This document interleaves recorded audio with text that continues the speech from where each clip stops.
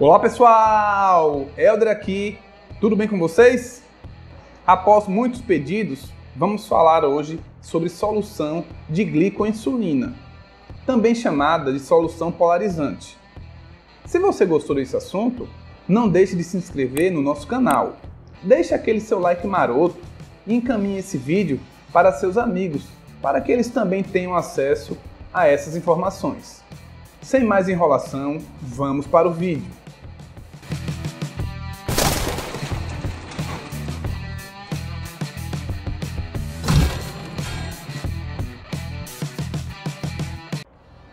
Solução de glicoinsulina, mais conhecida como solução polarizante, é muito utilizada como um dos tratamentos para hipercalemia ou hiperpotassemia, como vocês queiram dizer.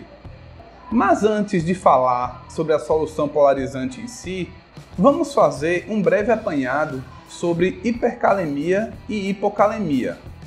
Esses dois distúrbios nada mais é do que o distúrbio causado pela diminuição ou aumento dos níveis de potássio do sangue. O potássio é um íon predominantemente intracelular e participa ativamente dos processos metabólicos, estabelecendo gradientes elétricos que são responsáveis por garantir a ordem nas células excitáveis.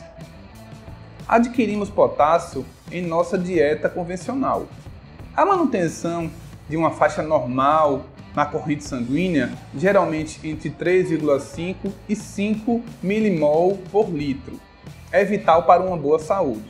A hipercalemia é possivelmente o distúrbio eletrolítico mais grave de todos, porém, ao mesmo tempo, potencialmente reversível.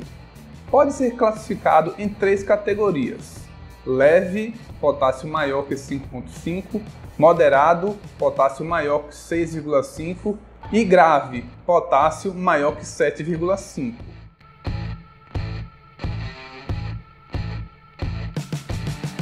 Sim, Helder, mas quais são os sintomas da hipercalemia?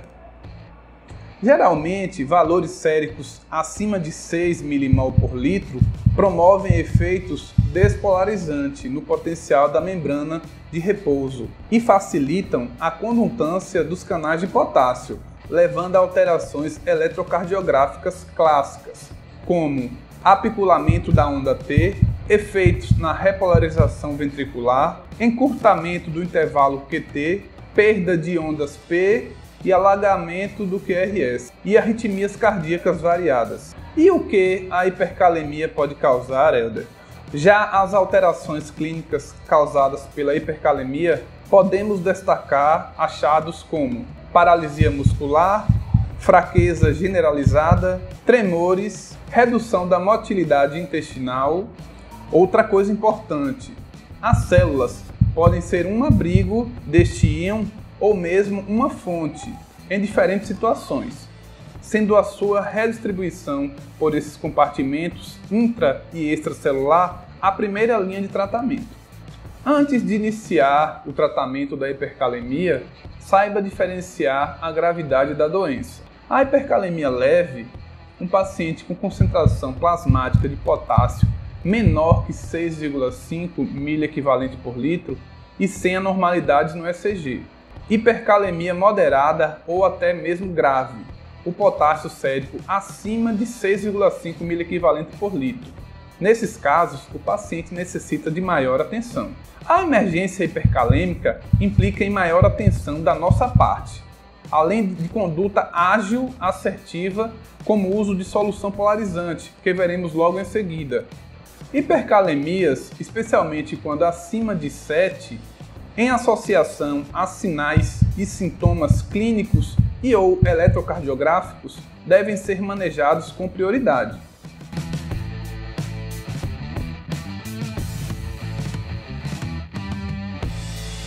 Tratamento da hipercalemia. Temos duas formas de tratar a hipercalemia, ou seja, abaixar esse potássio, eliminando do organismo ou metabolizando para o meio intracelular.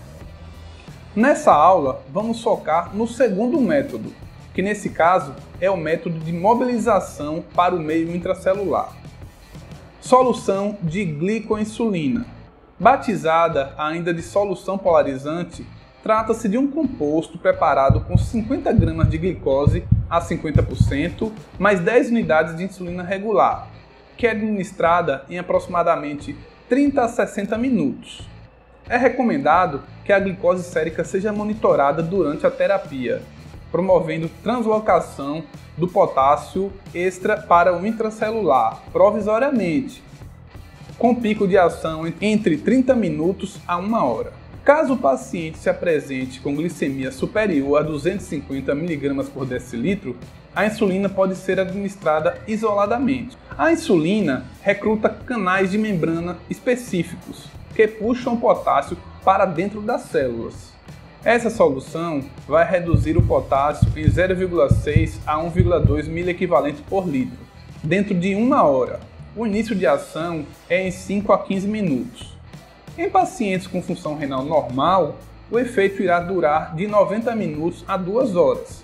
Na disfunção renal, pode durar mais. Insulinas ultra-rápidas têm um benefício teórico em pacientes com disfunção renal. Elas têm uma meia-vida bem mais curta e não são excretadas pelo rim. A literatura sugere que elas têm o mesmo potencial de redução de potássio, induzindo menos hipoglicemia. Entretanto, não há evidências suficientes para determinar uma posologia adequada desse grupo de insulinas, ok? Para pacientes com insuficiência renal ou clearance de creatinina menor que 30, uma estratégia recomendada é de que se reduza a dose de insulina para 5 unidades, a fim de reduzir os riscos de hipoglicemia. Ao infundir insulina, você deve antecipar o risco de hipoglicemia e oferecer glicose se a glicemia do paciente for menor que 250. Como o efeito da insulina dura mais do que o bolus da glicose, frequentemente é necessário novo bolus de glicose. Recomenda-se fazer da seguinte forma: se a glicemia for maior que 250, não dê glicose junto com a insulina se a glicemia for menor que 250, dê 50 ml de glicose a 50% e faça a glicemia capilar a cada 30 minutos na primeira hora. Depois repita uma hora depois. Lembrando, gente, que todo esse processo tem que estar bem documentado na prescrição médica. Ok? Bem, pessoal, gostaram dessa aula? Se gostaram, não deixe de se inscrever neste canal Deixe seu joinha. Encaminhe essa aula para seus amigos, para que eles possam também ter acesso a essas informações. Vou deixar no card final desse vídeo mais dois vídeos para vocês complementarem seus estudos, ok? Valeu, gente! Até o próximo vídeo!